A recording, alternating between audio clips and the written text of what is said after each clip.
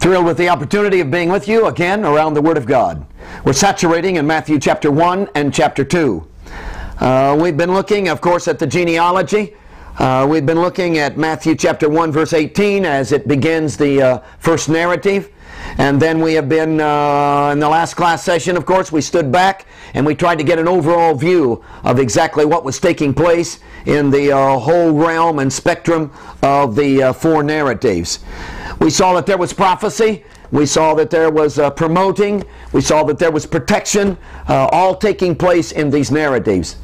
That God is actively involved in fulfilling a divine plan, and that we are to be in the middle of that plan, and that He has an overwhelming plan for our lives. And I can't tell you how much that excites me. Uh, we want to go back to the first narrative. We uh, are going to spend some time in this narrative trying to get a uh, handle on exactly what is taking place and how this fits into uh, who Jesus is and what he is actually all about.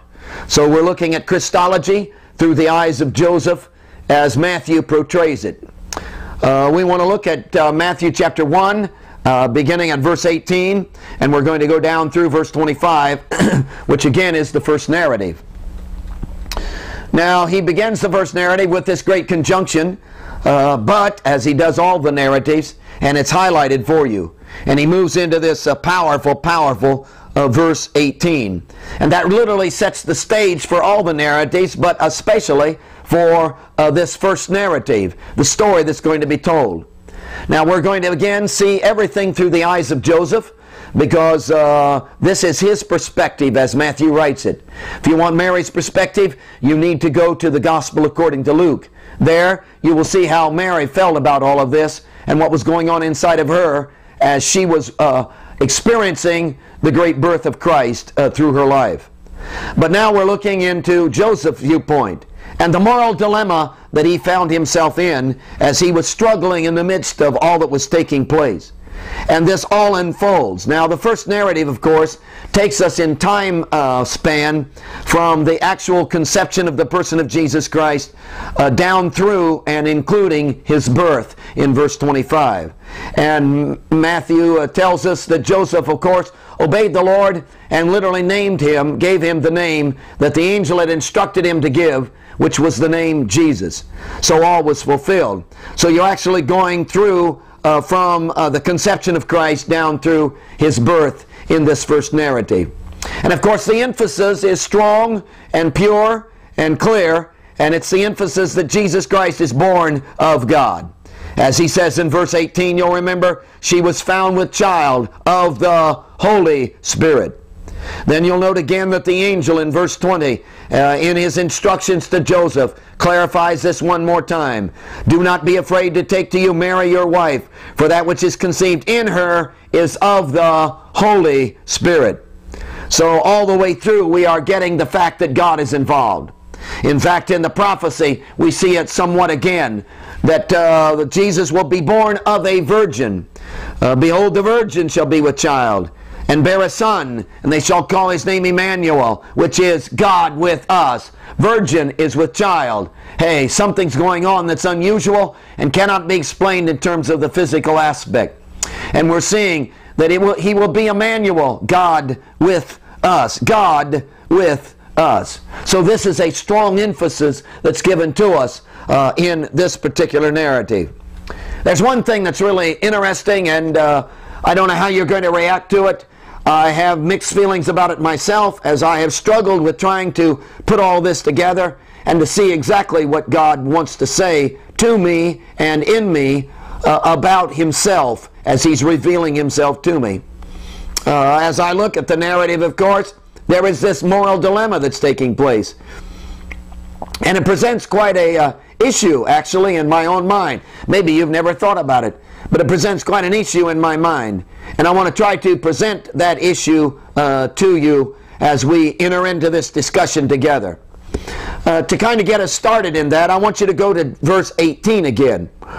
And the sentence construction of verse 18 is really phenomenal. In fact, it kind of sets the stage for what's going to go on in the rest of the narrative as it paints an amazing picture. Now, you know that the Greek language has a depth to it. And uh, the Greek language, of course, uh, is a picturesque language. So it's constantly painting these pictures for us so that we can see what is exactly taking place. Now, that, of course, is taking place in uh, Matthew chapter 1, verse 18. And it's a hallmark verse, as you remember. And we spent lots of time in it, saturating in it, trying to understand the proposition that Matthew is making through verse 18. Let's read it again. Matthew chapter 1, verse 18. Now the birth of Christ, Jesus Christ, was as follows. After his mother Mary was betrothed to Joseph, before they came together, she was found with child of the Holy Spirit. Now, the interesting thing is that if you take this verse, this sentence, and you would lay it out in the Greek language, if you would see the Greek words as they are put in order, you would find that there is one Greek word at least in this sentence that's not translated. In fact, as best I could find out, as best I could research, I couldn't find one single translation that included this word in that translation. Now, I'm not saying that's necessarily wrong. I'm not saying that they did the wrong thing and left it out on purpose. Uh, I think that what has happened is that that Greek word, instead of translating it by itself, it was kind of absorbed into another word. And so it's just kind of uh, glossed over and bypassed in the English translation. And possibly there's no way to really properly translate the word into the English so it again is absorbed into some other words. So it's kind of there, but it's not as distinct as it is in the Greek language. Now, the word I'm talking about is really a very small word. In fact, it's only one letter. And it's equivalent to our letter A, uh, or the word A. This is a word. The little word A is, uh, is included, of course. And it's a, it's a particle uh, which gives us real insight into what is taking place. And the way this little word a, this particle, is used is it, it sets up contrasting pictures, contrasting situations. It has the idea of, I'm, i want to give you uh, additional information.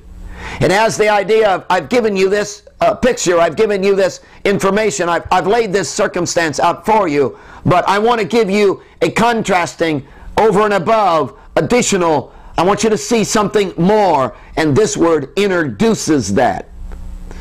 Now, it's not always just bypass. This word is not always just bypass in translation. We do translate it, and it is seen strongly in many, many scriptures. It, it marks something of a difference. Uh, it's translated or often, or it's translated either, or sometimes it's translated than, and, and we see it uh, marking a difference, kind of like a check mark saying, hey, hey, this is, we're going from here, and I want to give you additional, additional information.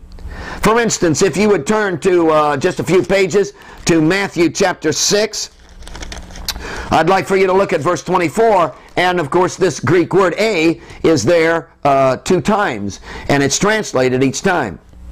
Uh, and again, it's set up, you can see how the word is used in this chapter 6, verse 24. Sermon on the Mount, as you remember.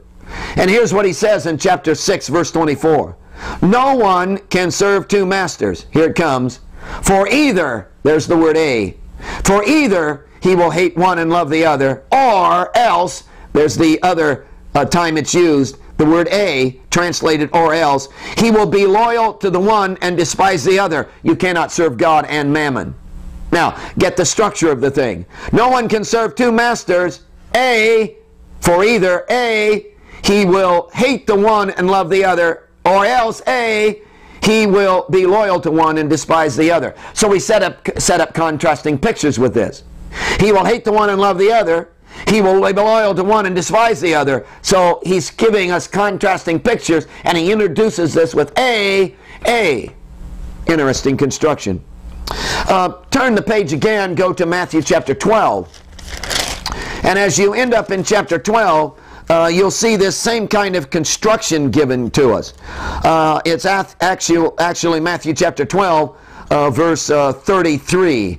Uh, again, you, you see this same kind of construction, and in verse 33, of course, it's translated and it's used twice again. Either, chapter 12, verse 33. Either, there's the word A, either make the tree good and its fruit good, or else, A, or else, make the tree bad and its fruit bad, for a tree is known by its fruit. So again, he sets up contrasting pictures. He's saying, hey, over on this side, uh, do this, make the tree good and its fruit good, or else you got to make the tree bad and its fruit bad. A, A, make the tree good or its, and its fruit good, or else A, make the tree bad and its fruit bad. For a tree is known by its fruits. In other words, you can't intermix them. Hey, if tree is good, it has good fruit. Tree is bad, it has bad fruit. A good tree can't have bad fruit. So you can't have A, A, and he's contrasting the picture. Now that gives you something of the idea of the use of the word. Now that word A is used in verse 18. And again, it sets up two contrasting pictures. Now, where it shows up in verse 18 is uh, after the word before and uh, just and before the words they came together, which of course is one Greek word. So as you read the sentence in verse 18, now the birth of Jesus Christ was as follows. After his mother Mary was betrothed to Joseph, before, then the word A, they came together. Before they came together. Before is one Greek word. They came together is one Greek word. And right in the middle is this little word A, which again sets up two contrasting pictures for us. So there it gives you the idea that I want to give you additional information. Now, what's happened, of course, in the translation is the word a, which marks a difference, is a particle marking a difference, saying, I'm going to introduce to you additional material. I want to give you two contrasting pictures. Is that little word is literally absorbed into the word before. And it becomes a part of that, which is probably right but it, it has the meaning here of I giving you additional information which changes something of your perspective of what exactly is going on. So the idea is that he's giving you two contrasting situations and he's presenting two different uh, uh, circumstances that you really need to struggle with and need to be resolved. A, now, let's discuss that and try to get a handle on it as we look at uh, this great verse and see what it has to do with Jesus. Now, Mary, you understand, we know very little about her. And in order to get to what we want to discuss, I need to give you uh, what little information we do know, and we need to saturate in Mary and Joseph and see what kind of situation they were really involved in. And then you'll begin to understand what Matthew was attempting to say here. Mary, again, we know uh, very little about her, have little information. Uh, her sister was Salome, who was the mother of uh, James and John, which you find out in Matthew chapter 27, verse 56. Of course, we know that Mary was of the lineage of King David as well, because we discover that in the genealogy that's given us in the Gospel according to Luke, uh, chapter 3. Um, Luke in that gospel traces the lineage of Jesus Christ through Mary. So can you see how inclusive the gospels are? Uh, I mean, Luke is covering the bases by by uh, by going through the lineage of uh, uh, Mary to find the lineage of King David in the lineage of Jesus Christ. So he is of the lineage of, of King David and has the right to sit on the throne through the line of Mary or through the line of Joseph. See, both of them come back to King David. So hey, it's really well covered. So you get that get that emphasis uh, in this in this scene. So Mary is of the lineage of King David as well. Now she came from Nazareth, the little hometown, small town. Uh, the town of Nazareth was probably from a poor family, a struggling poor family. Uh, she had a cousin by the name of Elizabeth. You'll remember that because, uh, according to Luke again, when she heard the announcement in the garden, the angel told her, You're going to be with child.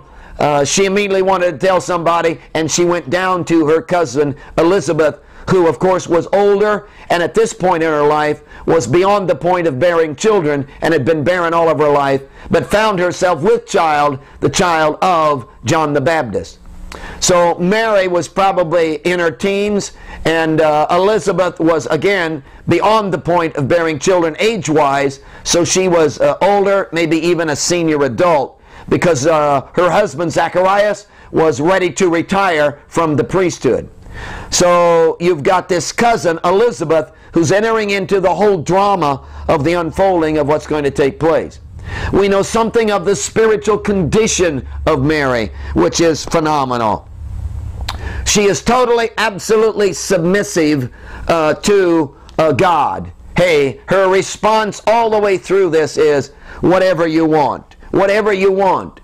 Uh, as the angel appears to her in the garden, she simply says, Behold, the bondservant of the Lord. Let it be a meet, let it be to me according to your word. Hey, I'm not resisting. This is going to ruin my life, but I'm not resisting. You have a plan. I want to fit in. And she is totally, absolutely submissive to all that God is proposing in this situation. In fact, why don't you turn to Luke? It would be worth looking at for us. And in Luke chapter 1, you see some details to this whole submission as it unfolds. Uh, you need to go down uh, to, uh, oh, verse 26. It's the sixth month. The angel Gabriel has uh, been sent by God uh, to a city in Galilee named Nazareth. And he's come in verse 27 to a virgin who's been betrothed to a man whose name was Joseph of the house of David. And the virgin's name was Mary. Now, they are uh, in the garden probably, and in verse 28, note what's happening. And having come in, the angel said to her, Rejoice, highly favored one. Tells you something of her spiritual status. The Lord is with you. Blessed are you among women. And when she saw uh, and when she saw him, she was troubled at his saying and considered what manner of greeting this was. Then the angel said to her, Do not be afraid, Mary, for you have found favor with God. Behold, you will conceive in your womb and bring forth a son, and shall call his name Jesus. He will be great and will be called the Son of the Highest. The Lord God will give him the throne of his father David. He will reign over the house of Jacob forever, and, his, uh, and of his kingdom there will be no end. Now go down to verse 45 because as she as Mary has gone down to Elizabeth's house in verse 41, uh, she was filled with the Holy Spirit and began to prophesy. So here's what God is saying about Mary. Verse 44 For indeed, as soon as the voice of your greeting sounded in my ear, the babe leaped in my womb for joy, and then said this Blessed is she who believed, for there will be fulfillment of those things which were told her from the Lord. It was a prophecy. So Mary was a believer. She believed. For the word of the angel is, Blessed is she who believed, for there will be fulfillment of these things which were told her by the Lord. So that's about all we know of Mary. Uh, we're not giving her exact given her exact age, but if it followed the scene of their particular cultural setting, she was in her teen period. Uh, Joseph, we we know absolutely less about him than we do Mary. If we don't know much about Mary, we know very little about Joseph. We know, for instance, he, his father was Jacob, according to the genealogy in verse 16, Matthew chapter 1. We know that. We know that he was a carpenter, that he uh, was a craftsman, that he was uh, uh, an individual who worked with his hands, which means he probably was, again, of a lower class, a poorer side of the family, a construction worker. We know, according to verse 19, that he too was a righteous man. Uh, my translation says, then Joseph, her husband, being a just man. So he was a righteous, just man in the eyes of the law. Uh, we know that from logic we understand that he wasn't around all that much. That after Jesus was born and for some time there something happened. Maybe he died. He probably he died. And Mary was left on her own with the children and uh, we don't see Joseph, uh, we don't see him after the 12 years of age of Jesus Christ. That whole scene, he, he disappears and he's never talked about or heard of from that point on. Uh, they were, of course, in a betrothal period. Now, you have to understand what that meant because that is very significant to the whole moral dilemma and story. You see, it was customary that the girls would uh, actually enter into marriage very early in life. Uh, it was uh, usual for their culture that something like 12 years of age, 13 years of age, these girls would enter into a contractual betrothal marriage period. Now, what that meant was that there were two stages to marriage. There was the first year of the marriage. Now, this is the umbrella of marriage, and underneath that umbrella, there were two things happening. The first year, which was the betrothal period. They were legally married. It was a part of the umbrella of marriage. So it wasn't like engagement and really was just exchange rings and we're going to get married. No, they are married. They have entered into the contract. This is the umbrella. And within that umbrella, there is this betrothal period, a one year period. Uh, and then there would be the marriage ceremony where they would actually enter into uh, sexual relations and begin to live together as husband and wife. So for one year they're married with no marriage contact, no intimacy, no physical contact, at least very little even talking with each other. Then there's this uh, additional uh, event of the marriage ceremony and they enter into actual, actually living together. Now, all of this was normally arranged by the family. It was a contract. Uh, it was a contract that was sealed by a dowry. In other words, the bridegroom of the marriage situation and or his family, but normally the bridegroom, and some think that Joseph may have been in his 30s, so he was an older man, uh, and that was customary again in their culture. So uh, Joseph uh, uh, brings a dowry to Mary's parents, and a dowry is uh, given as a gift for the bride. And the reason for that, of course, was that uh, if a divorce came out of this, if uh, this man would take their daughter and would marry her and then divorce her, she would end up back at the father's house, at her father's house. And so to compensate for any kind of misunderstanding or anything that would happen if he if the father would end up having to support her in future days, a dowry was given. So this dowry has been given. Joseph is given the dowry as the bridegroom. The contract has been entered into, signed by every party involved, and they are under the umbrella of marriage. They are officially called, in verse 19, husband and wife. Uh, in fact, the angel, you'll note, uh, down in verse uh, uh 20 says, uh, Do not be afraid to take to you Mary, your wife Hey, don't be afraid. Well, are they married? Yes, they're married, but they're not living together. They're in the betrothal period, that one year period. That's the period that uh, is is the scene of this of this particular hour. So the contract has been signed, the dowry has been given, and uh, they are now officially married, husband and wife only they are not living together. They are in the one year dowry. And the minute the contract is signed, it's legal and it's binding. And again, they are considered married. Uh, and uh, they have very little social contact. Now, a moral disaster has taken place. Joseph is absolutely shocked. Uh, three months have gone by from the time that Mary heard the announcement. And isn't it interesting, as you saturate and pick up some of these facts, isn't it interesting that Mary didn't tell Joseph? You would have thought that she would have told Joseph. I mean, an angel of the Lord shows up at her home and tells her, Mary, you're going to be with child, and the Holy Spirit is going to overshadow you, and you are going to experience conception in your womb. And she immediately leaves and runs down to her cousin Elizabeth and stays three months down there and has no contact with Joseph and doesn't try to explain to him, doesn't try to defend herself, doesn't say, hey, it's not what you think, doesn't try to explain it. She is absolutely trusting God to do her explanation. Hey, you got me into this, God? This is your deal, not my deal. I'm not going to manipulate the scene. Hey, this is all on you. And if Joseph is going to line up and he's going to understand, you're going to have to be the one that that's going to tell him. So I'm leaving all the details and, uh, and I'm leaving it all up to you. There's a powerful holiness truth to that. See how careful we are to defend, to, to justify, to explain, to straighten out, to manipulate, to, hey, we'd run right over there and say, hey, now wait a minute, this is what's happening, it's not my fault, I want you to, no, hey, I'm leaving this all up to you, God, this is your battle, you're going to have to handle it, and God, and indeed God is handling it, no question about that. So Mary has been down to Elizabeth house for three months. Now she is giving physical evidence to the, the, to the conception and the announcement that the angel has made.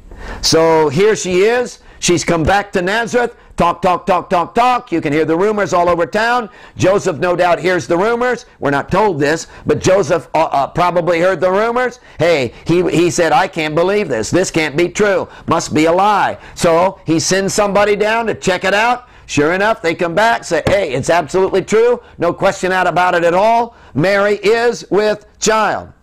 Now, Joseph knows he's not the father. Hey, he's not the father. So if he's not the father, what is the obvious conclusion? Well, there's only one conclusion you can come to. She's had an affair.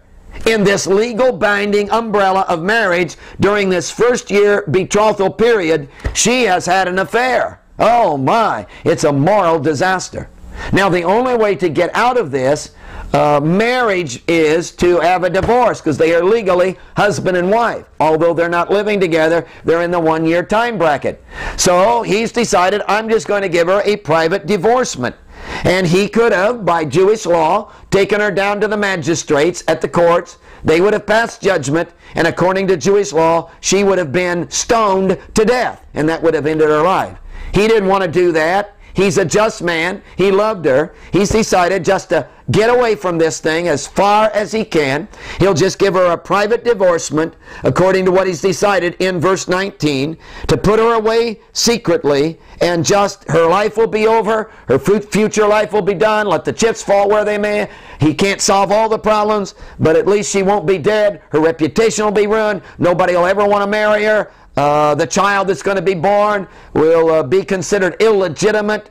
And of course, in God's eyes, the plan of God will be aborted. Uh, there will be uh, no legitimacy for the birth of Jesus Christ.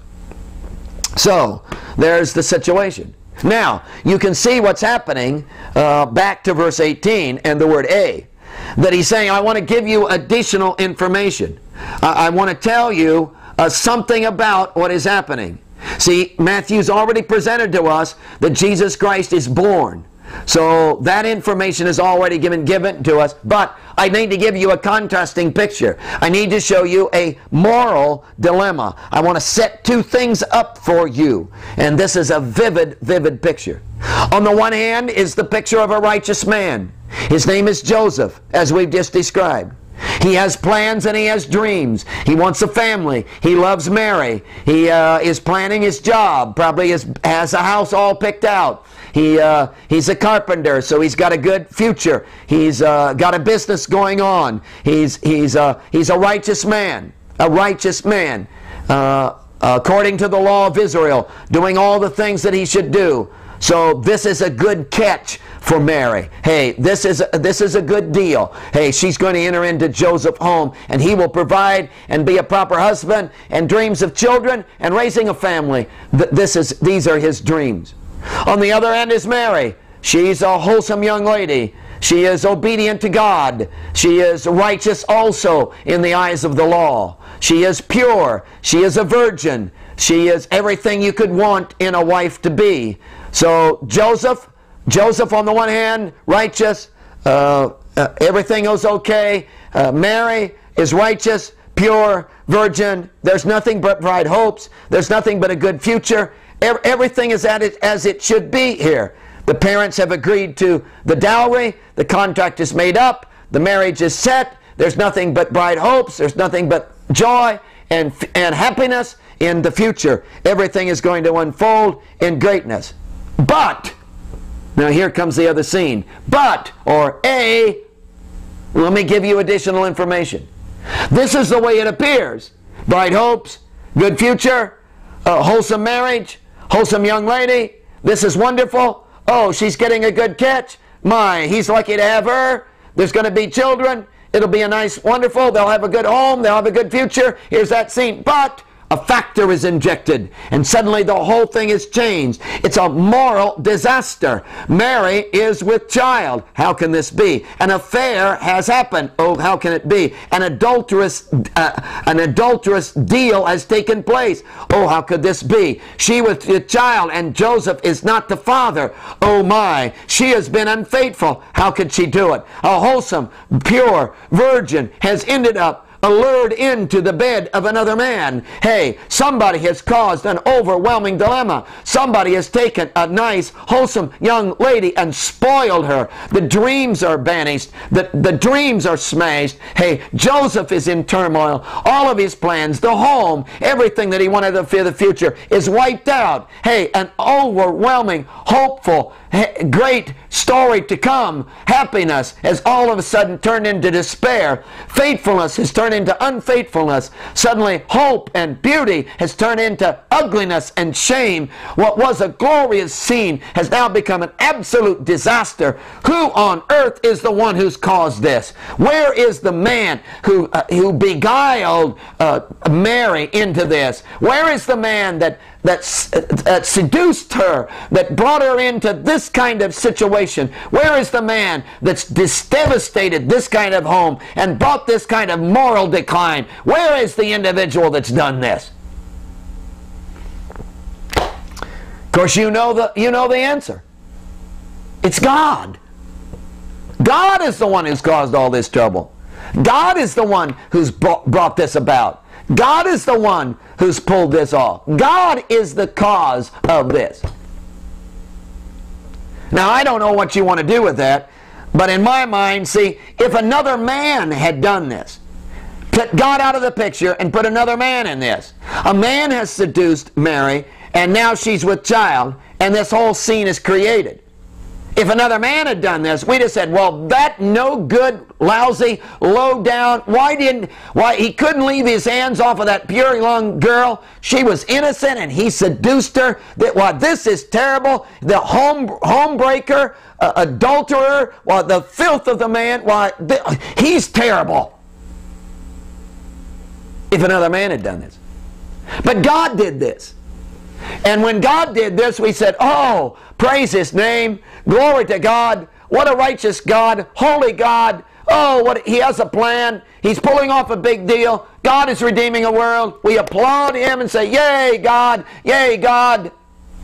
Man does it. Oh, it's sin. It's disaster. Oh, it's awful. God does this. We say, Yay, God. It's holy. It's righteous. It's sacred. Oh, we bow. We worship. We say, Glory to God. I think that's an interesting dilemma.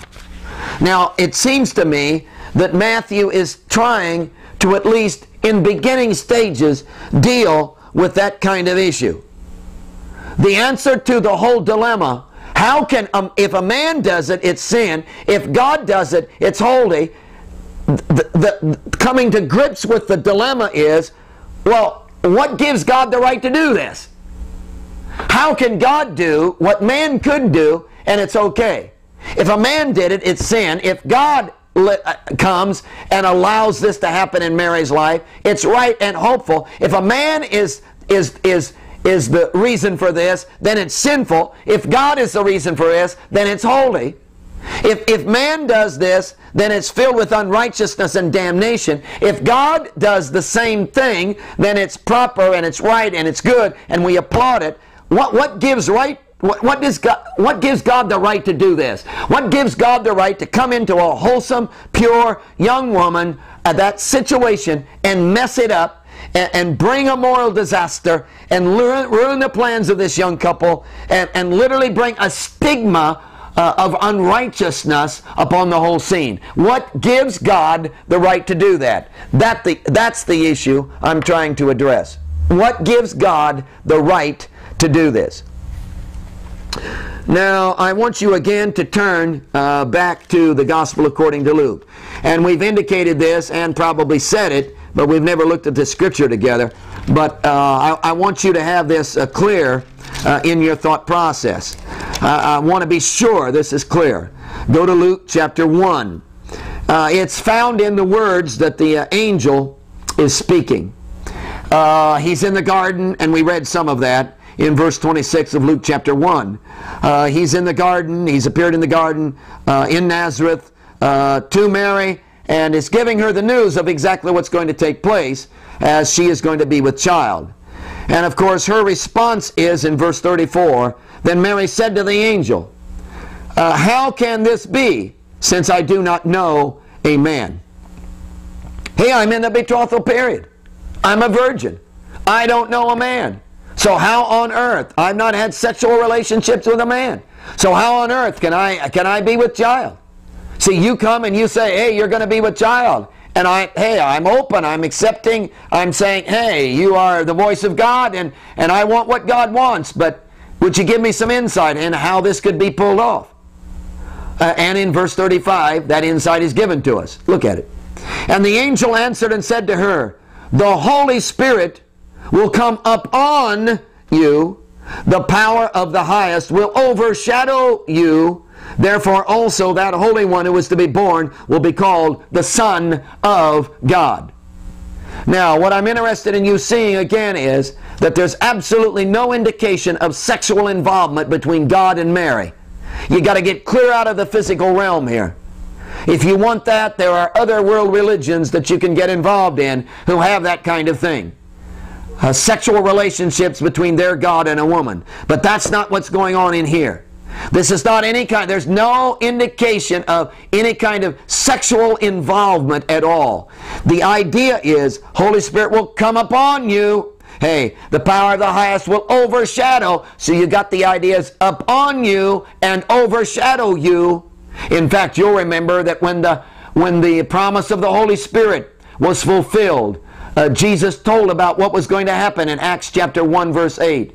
That you will receive power when the Holy Spirit has come upon you, same kind of idea. The overshadowing idea. The Holy Spirit's going to overshadow you. That He is creative in His presence and there's no sexual activity going on here.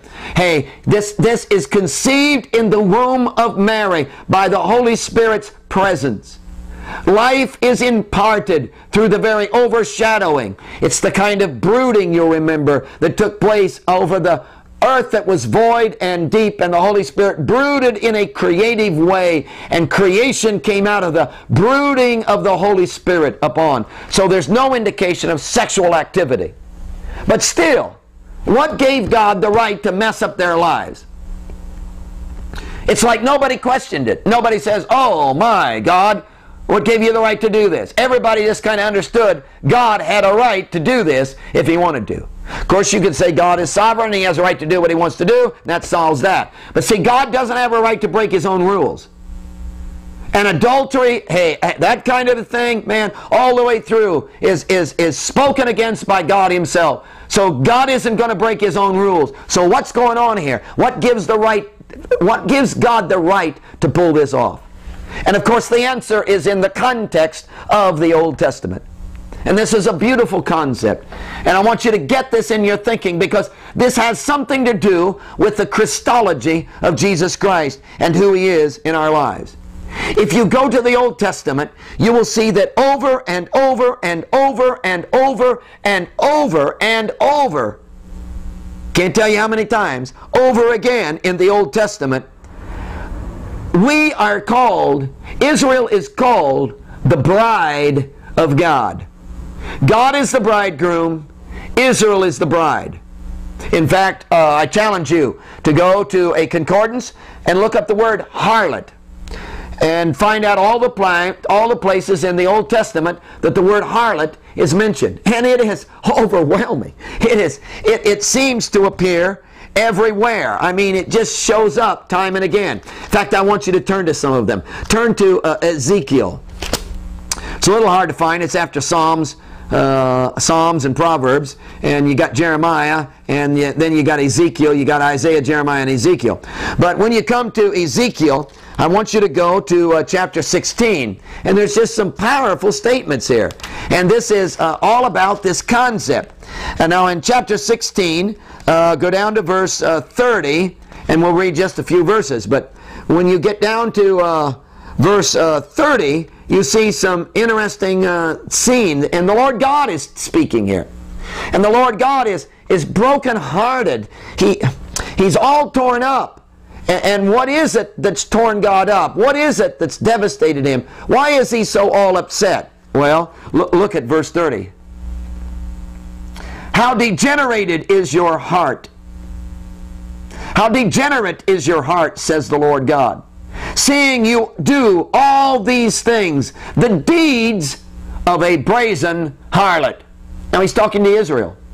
How degenerate is your heart, says the Lord God, seeing you do all of these things, the deeds of a brazen harlot. You erect your shrine at the head of every road, and you build your high place in every street. Yet you were not like a harlot because you scorned payment. You are an adulterous wife who takes strangers instead of her husband.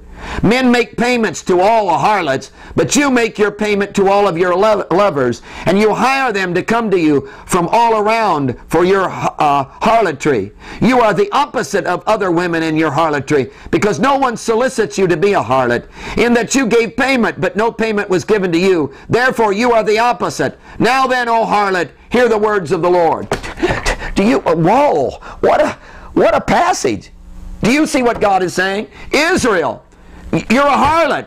But he says, man, you're worse than a harlot.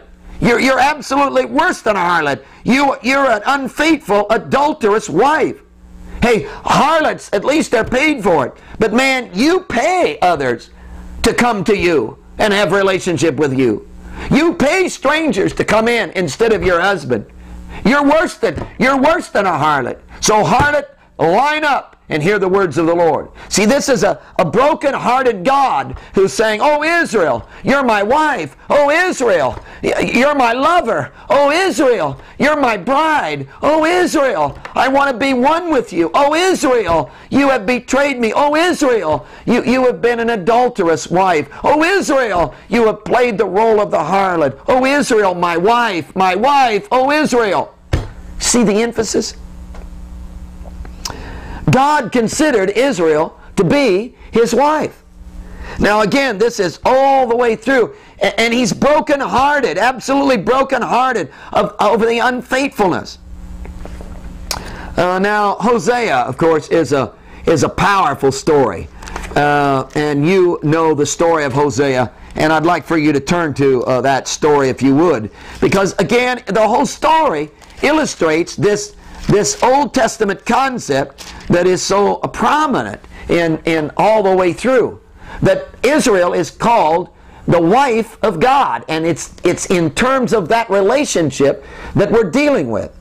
Now, Hosea, you know, of course, what happened to Hosea. Hosea was told by God, Hosea was a prophet, and he was told by God to go down and marry a prostitute.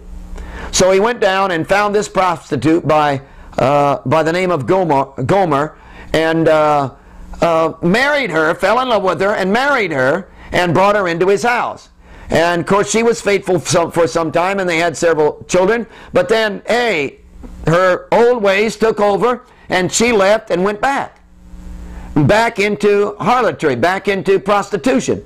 And she sold herself, and of course, Hosea is brokenhearted and all upset and wondering what God, what are you doing here, God? You told me to do this, and now what a disaster, and now I got these boys, and, and it's just an awful thing, God, and my heart is broken. And, and, and, and God sends him down again. And he comes down to the marketplace, and there she is on the auction block.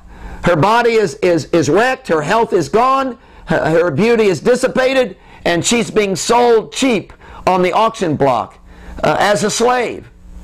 Uh, worthless. There she is.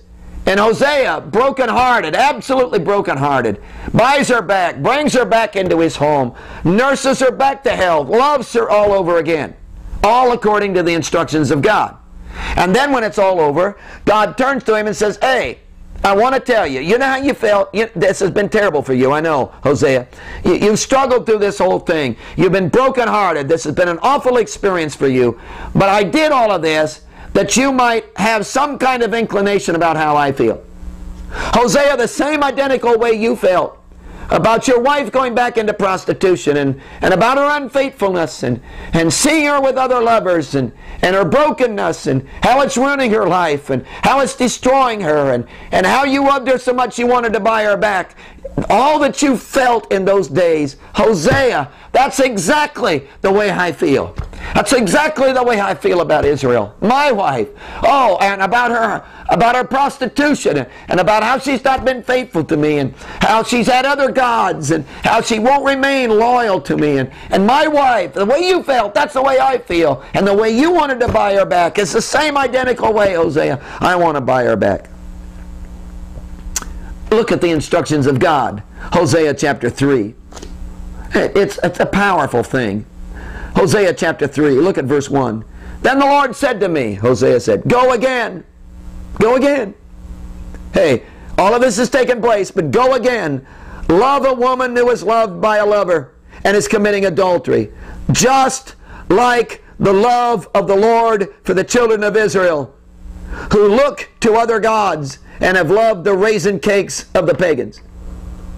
He said, Hey, the Lord said to him, Go, go again, love that woman, and she's been unfaithful, and love her back, man, and get her again, just like the love of the Lord for the children of Israel. For look, who look to other gods and love the raisin cakes of the pagans. See, this is a powerful image, isn't it? And, and, and, and it's all the way through that, that we are, we are the, the wife of God. We're the bride of, of, of the Christ himself. What a, what a phenomenal concept. Now that's Old Testament. Now in the New Testament, it's a little more positive, and I want to I want you to look at some of those scriptures as we move into the New Testament. It's a little more positive. For instance, I want you to turn to Ephesians and uh, look at this great passage. It's Ephesians gives us some real insight into the home, and in Ephesians chapter five. Uh, oh, go down to. Uh, Go down to verse uh, 25 and we'll read, just read a couple verses. Here's what the New Testament has to say.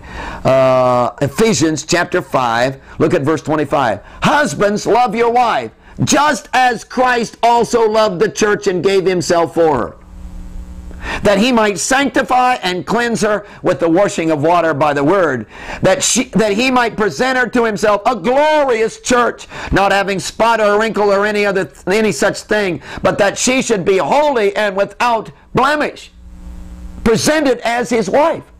Wow.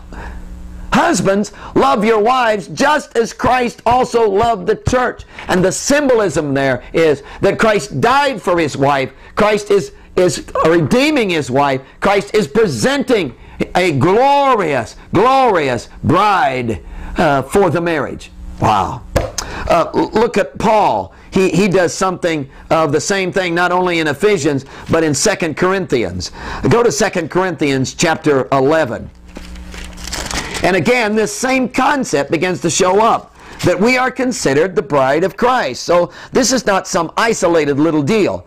2 Corinthians chapter 11. L look at verse 1. Uh, 2 Corinthians chapter 11 verse 1. Oh, that you would bear with me in a little folly, Paul says. And indeed, you do bear with me, for I am jealous of you with a godly jealousy, for I have betrothed you to one husband, that I may present you as a chaste virgin to Christ. Paul says, hey, bear with me. I, am a little foolish. And, the reason I'm talking a little foolish is because I have this overwhelming thing in my life. I, I, have a love for you that I might present you betrothed to Jesus. I betrothed you to Him. You're in the one year marriage period. Uh, I'm betrothed you to this husband uh, that you might be presented to Him as a chaste, clean pure bride. Oh, let me give you one other. It's in Revelation chapter 2 or chapter 21. You can find that easily. Revelation chapter 21. And this is so powerful because it gives us the climax of the whole thing. Married supper of the Lamb kind of thing. Chapter 21 verse, verse 9. Here's what it says.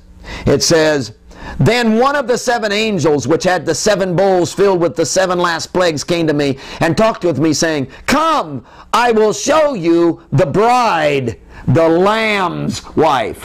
That's what we are. We're the bride, the Lamb's wife.